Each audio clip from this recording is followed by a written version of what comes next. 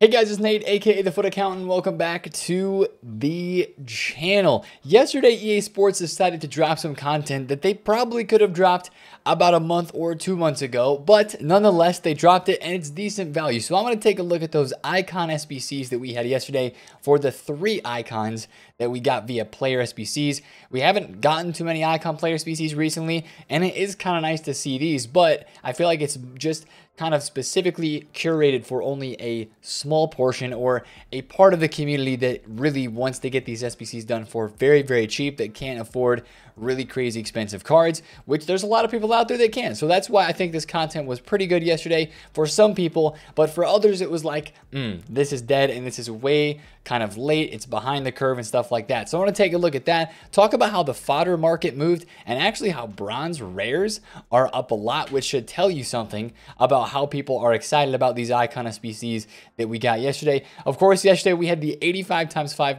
pack re-released once again. We'll be able to do that one time every single day, just like last week. And I think today on Tuesday could bring us another upgrade pack, maybe the 85 plus player pick. We had the 82 plus player pick on repeat once again.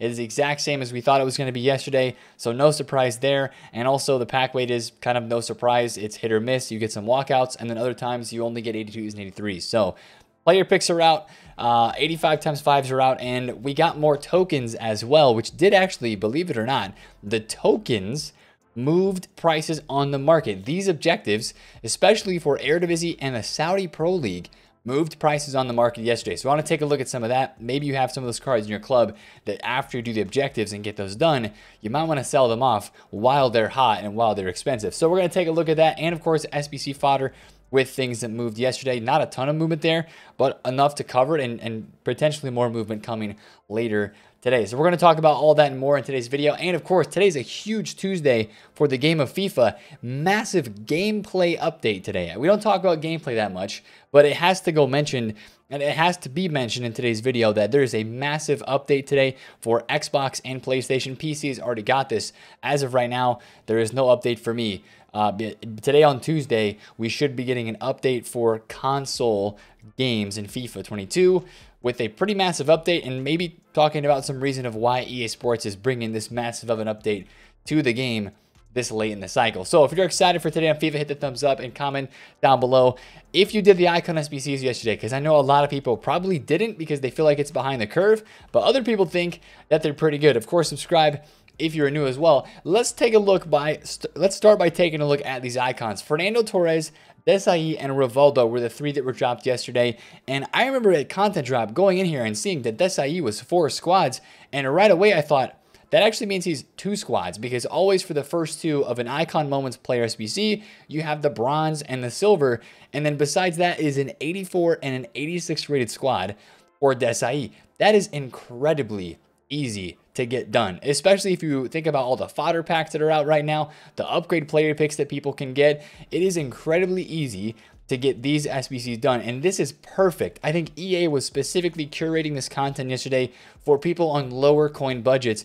I mean, a Fernando Torres, this guy on the market before yesterday was like 300,000 coins. This SBC is about 200K, 82, 83, 84, 85. That's really, really cheap. I know that some of these guys are behind the curve. Uh, Torres, Desailly, and Rivaldo are all a little bit behind the curve, but based off their price movements yesterday on the market on these specific cards, you can tell that people are actually excited. The people that wanted to do these guys SBCs, they're kind of excited about them being out. Take a look at Desailly, right? He's 190,000 coins at the moment. He was 250 yesterday before content, dropped down to 176. Of course, he was down already from being like 300,000 coins before Desailly and Rivaldo were leaked to be coming out a couple days ago. Uh, so Desailly, I think, is being probably the most completed SBC right now at the moment of the icons that were dropped yesterday. You can tell he's got a 62% upvote. Fernando Torres has a 38% upvote and Rivaldo only 24. But here's the real kicker. People are doing these SBCs in July because if you go and take a look at bronze rares on the market. Now, I'm not entirely sure like which, um, I'm, pr I'm pretty sure that like English bronze rares would be some of them would, that would be up, but bronze rares, check your clubs, guys, because some of these bronze rares are up. Wow, English bronze rares are 1,100 coins a piece, 1,200 coins selling. Uh, and it's probably about the same for all the top top nine nations, so right around a thousand coins for most of your bronze rares in this game. Uh, wow, the, every single bronze rare in the game is how much? 800 coins? That's crazy, right? That just goes and tells you that people are doing these SBCs because they are they're actually decent value for what the players were. Torres was 300,000 coins a couple days ago and now his SBC is 200k, so his card price is down a lot as you would expect. But that's just again, it's kind of the people that needed to get these SBCs done for cheap that couldn't afford these cards off of the market or didn't want to, right? Maybe it's just you're a big uh, Fernando Torres fan, big Liverpool fan, and you want to get Fernando Torres completed for the endgame squad and you just don't want to buy him. You can craft him for really cheap with these couple squads. Same thing with Desailly. I have actually used Desailly for a lot of games this year. Uh, my 92 Desailly in the club, I, I, would assume that I have at least 100 uh, plus games with him. He's been on my team for so long. Uh, 216 games. I really, really like this card. He's basically a wall. He's a tank. So I packed him during the whole prime icon player pick glitch situation that happened like a few months ago. He was really, really good for me. So I've enjoyed using his card for a long time and he is really good. So I, I, I understand completely why people want to go out and do the SBC. Now, the flip side of the coin is a lot of people are like, they saw content yesterday and they're like, man, EA Sports, these SBCs are like two or three months too late. And I completely understand where you're coming from from there as well. If you're somebody who's interested in the most elite cards that are dropping on this game, the, staying up to date with the most recent promo and saying, hey, Nate, take a look at the Kyle Walker that just got dropped. Why use this IE when you can use a Kyle Walker or a flashback Varane from January that's still better than this card.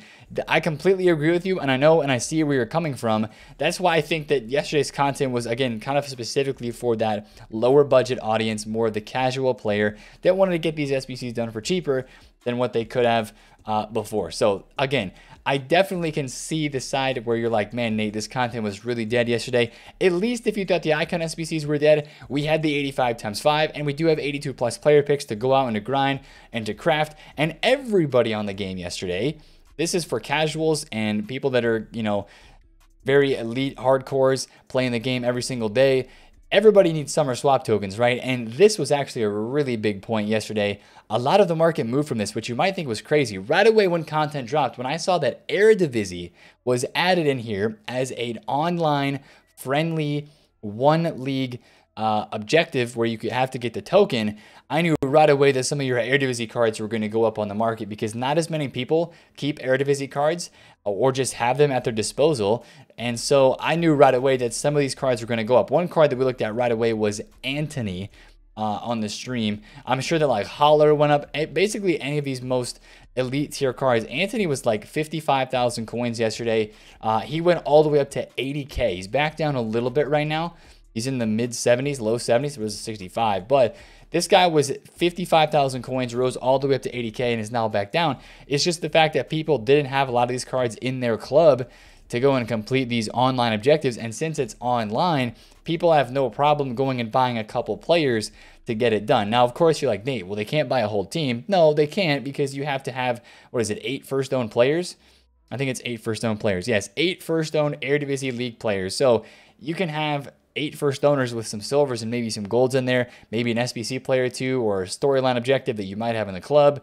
And then you go and buy three players like an attacker, right? You're going to buy a guy like an Antony or a Haller or maybe a Gravenberch if you have a lot of coins or just one of those more expensive cards that's going to get the job done for you in a golden goal mode where you're just trying to get a goal scored right off the bat. So this was cool for EA Sports. Again, dropping eight more tokens to try to keep them ahead of the curve. Now the tokens are probably going to be pretty slow throughout the rest of this week, kind of as we have seen. But some Eredivisie cards did rise up. Some of your team of the season specifically. Uh, I would assume that like Daley Blind Shapeshifter was up a little bit as well. I didn't actually look at his price, but I would assume it, that probably happened being one of the most recent Eredivisie cards out there. Also, Saudi Pro League a lot of people probably don't have a full 11 of Saudi Pro League cards in their club. So if you went and take a look at the market, some Saudi Pro League players, actually what I would do, the best way to do this is go to your club or go somewhere inside of your FIFA Ultimate Team club and say, hey, um, I want to look at Saudi League players and see how many that I have and see if any of them are tradable, right? You can even sort by tradable. I, I have a few of these guys in here. Funes Mori, uh, let's see, List on transfer market, it says my active squad is full, so I can't place them in the squad. let me Tawamba, right? Like some of these guys are selling for over a thousand coins, especially the ones that are more like this right back with 80 pace. List on transfer market, compare price, 2.2k. This this guy is selling for 4k. Nah, like I'll get him out. Seriously, I'm playing I'm playing against squad battles, right? Squad battles, I'm not gonna try and hold on to some of these guys. I'm gonna take the coins while they're oop, nope, I'm not quick selling.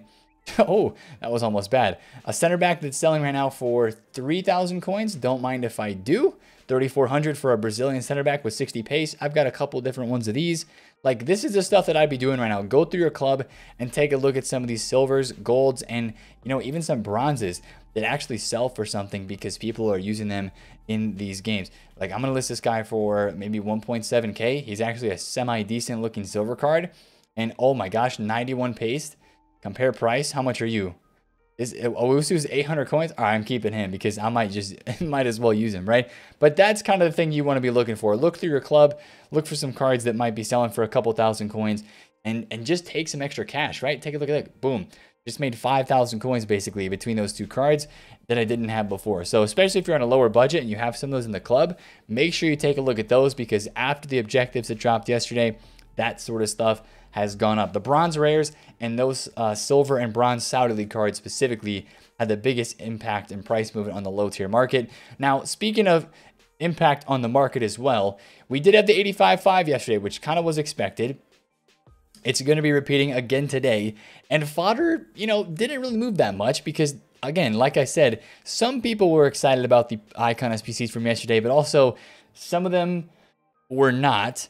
And the really hype, or the real hype, where probably most of the community was enjoying the SBC section yesterday, was the 85 times 5. And of course, you've seen 84s and 85s just ever so slightly tick up in price, right? 84s are about, they're approaching 4,000 coins right now, which is up about a 1,000 coins a card. 85s are about 7.5K, which is up about a 1,000 a card as well. And then 83s are approaching 1.5, 1.6K, which is up just about 5 600 coins a piece. So keep an eye on these cards because guess what? An 85 times 5 is coming back again today. Whether you're saving it or whether you're opening it, I'm I'm doing some of both right now with mine, just because I want to have some fun.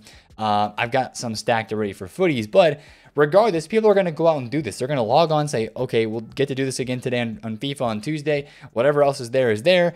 But people love these gamble packs. They like to stack them. They, they, there's, there's a lot of FOMO with a pack like this. So that's why I think that the 83s to 85s are going to keep rising in value. If you invested in any of these on the weekend, you're looking at some good profits probably in the next two days. Like Wednesday, Thursday is going to be the time frame where we will look at these cards and be like, okay, we're going to look to be selling here decently soon. Or if you just want to hold into footies, I think that's completely fine as well on some of the lower tier cards because some of the prices that we saw on the weekend, like again, two days ago, Saturday, Sunday timeframe, these cards were like 2K.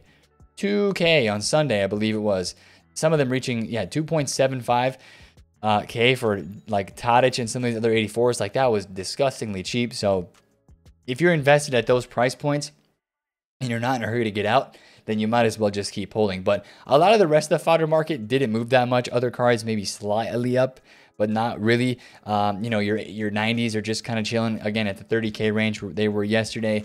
Your 87s are 15k. Some cards maybe up a tiny bit just because of the you know 92 plus player pick for icon moments being available. Now, one thing I will say is we have one we have one more full day left with these upgrades. And if you're somebody who likes to do a lot of SBCs, if you're doing player picks this week, this is one thing I would recommend as well. If you're grinding the 82 plus player picks like I am, try to rinse some of your cards, your 82s and your 83s, rinse them into the team of the week upgrade pack because I think that's going to be a very nice pack that will help us get SBCs done later on. Wow, I picked a bad league. Try to craft a player pick here really quick. Um, can I do Prem? Prem? Uh, no. 30 chemistry is very nice, but when you don't have a lot of players in the club, it's not very nice. Okay, boom. Bundesliga it is. But um, I would say try to put some of your 82s and your 83s into that um, 81 plus team of the week upgrade because I really feel like that could be a huge, huge help heading throughout the rest of this week. Um, and especially after those go away, we would assume that we would get some more of those upgrade packs later on. But just having team of the weeks, Yes, let's freaking go, man. Dempsey, this is the guy that I wanted, chat. Yes, I just called the YouTube video chat. Oh, that's that's wonderful. The late night pack luck is in. I used Dempsey for like five games yesterday, and I kept saying this is the guy that I wanted to pack, and we freaking got him on the YouTube video. Let's freaking go. All right, we love that. I'm excited about that because USA squad needed him. Anyways, whew, that's exciting. Nobody else is excited but me. Anyways, uh, make sure you do a couple of those 81 plus team league upgrades if you have some of those 82 83s in your club because that will become very, very helpful. As I'm assuming during footies, they're still going to have the um, TOT slash Team of the Week upgrade. Even though this might get re released, I feel like while it's still here, you never know if it's going to get re released or not. You might as well do a couple of those. So that's pretty nice. Now, again, like I mentioned for today's content on Tuesday, 85 times 5. I think we are going to get an 85 plus player pick today. EA seems to be in copy pasta mode where they're going to be putting out the same SBCs week in and week out. And last Tuesday, I believe we had the 85 plus player pick. I would imagine that we would have that again today. Now, I don't remember exactly, but I think last Tuesday we had a player SBC as well. It might have been Martinez Quarta a week ago. So, what I would say is we don't have any leaks right now except for one card and this one card that we have a leak for is a Moments SBC for Angel Correa. And if they do this like they did with Reus last week, they dropped Reus on Thursday, if I'm not mistaken, and then Martinez Quarta, I think, was on Tuesday. So we might have a last minute leak and then a card added into the game today on Tuesday. We'll just have to see how that goes. But this is the only leak that we have as of right now. Stats are predicted, position is unknown, but I think a lot of people are thinking that this Correa might be a left wing, which wouldn't be a terrible card. Uh, if we take a look at Angel Correa, of course, people will remember he had a player of the month, but most famously, he had his, well, gold card. This guy's gold card was incredible at the beginning of the game, but he had the fire and ice cards. The fire card with 2,400 thumbs up.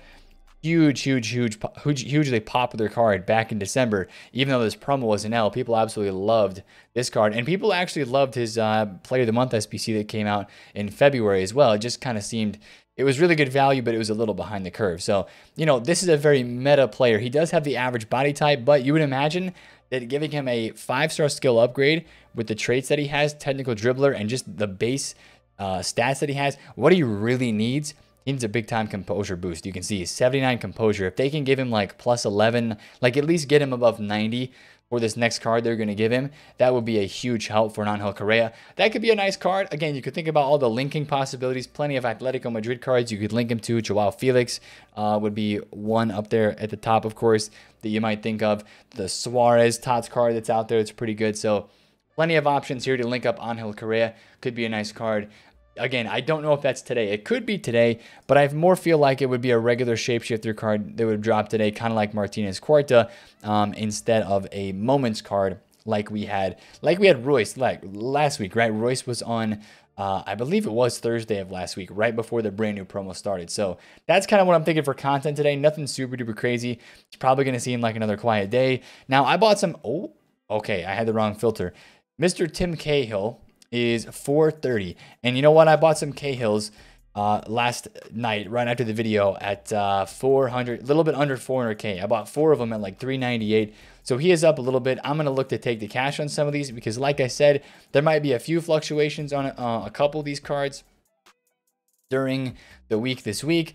But what I'm looking forward to on this game right now is still taking the cash on some of these cards because I think they're going to drop further on uh, later this week, and especially as we start to get the footies info. Now we don't have the footies info right now, like I've been saying. We're just we're in that waiting mode for it. But once we get it, it this game is really going to change. And I think the pulse of the market and um, how hyped people are is, is really going to change. So actually, one other thing I want to talk about related to the market, a lot of prices are, are not moving, right? Let's let's check our El Shot, right? We've been checking El Shot and Neymar team of the season recently. A lot of these cards have really been staying this staying the same price. Elshot 290, literally unchanged. The team of the season, Neymar, was still 2.9 like flat yesterday when I looked. Let me check it one more time. He is, yeah, 2.9 low. So basically, Neymar and Elshot are kind of the same prices. One interesting thing I saw yesterday was some panic selling on left wings, and it was all based around this guy. Now, I don't know if there was a concept that was made about a left wing Sadio Mane Bayern card or what it was, but Vinny, Ribery, and um, that Mane were all down yesterday, and I was very intrigued to know as of why. Now, Vinny, I think, has rebounded back up a little bit. Ribery has rebounded back up a little bit too.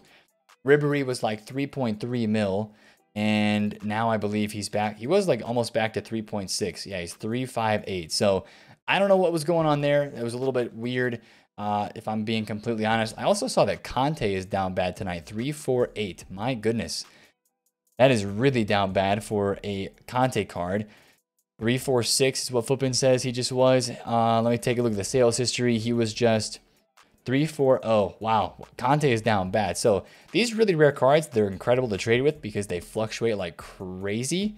And if I was to able, if I was, who's bidding 3.7? Oh my gosh, man. People in July are still doing this on this market. Unless this is a coin transfer, which I don't believe that it is. I'm going to keep an eye on that because three, four, four, six getting bet on overnight as well. This is this is crazy. I might try to snag myself a Kanté here for like, shoot, if I can get a 3.4, that'd be fantastic because he doesn't have that many cards at 3.9 and he was selling at 3.7 at least multiple hours yesterday. And he did sell in the 3.9s as well. So, you know, him and Kyle Walker and Di Natale, like those are still still so rare cards that you can trade with. They're super rare, and that just creates big fluctuations, which means potential to make coins. So again, just as we head out th- further through on the week, just be careful with that because we would expect more panic selling. Oh, Kyle Walker is up. Just kidding. We will not be trading with him because he is already up in price. So there's that one. But I'm going to keep an eye on the Kanté because 3 4 for Kanté is kind of mad. And um, yeah, if there's an opportunity to flip one of these, I'm going to go for it. Maybe try him out for a game or, or two as well. But that's a pretty low price for Mr. Kanté himself. So yeah, just just continue to watch the market. If you're chilling, if you sold cards and you're just waiting for prices to, to drop, we're just waiting on that footies info, right? It's it's really easy to be a casual at this stage of the game with how the content is going, but it's completely fine. There's no problem with that. Now, one thing I will say today is I'm actually very interested from a gameplay perspective. I played a few games of Rivals yesterday, had a pretty decent time, played a game, a couple of games of friendlies as well, getting my Shapeshifter Cup games in and my one league games in.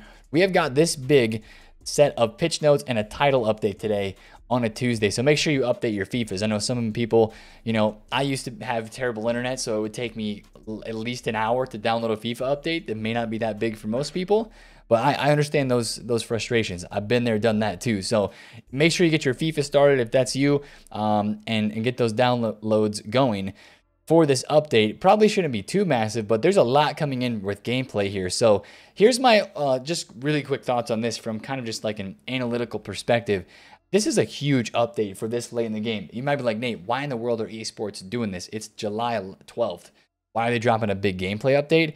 Really, what I think it is, is they're trying to put some fixes in and, like they said here, refresh several elements of attacking and defending, but I think they have FIFA 23 in mind and they're thinking, okay, hey, we can input these changes, see how the hardcores and the people that are still playing our game right now in July take these changes and then we can apply these changes and their impact, maybe tweak them a little bit and then put them on top of the FIFA 23 gameplay or factor our feedback from this into that FIFA 23 gameplay system that we are creating right now, and then maybe use that information to help tweak the final game that gets released here in like two, three months. So maybe that's how and why they're doing some of this. Um, but you know, we should be reaping the benefits of that because a new type of shot is going to be more pronounced is the knuckleball shot, right? They're increasing the likelihood of this. I'll link these pitch notes down below in the description if you want to take a look at this. I, will link Inception's video as well. I know I already did this like last week when they announced this stuff, but Inception is just really, really great at, at explaining these things.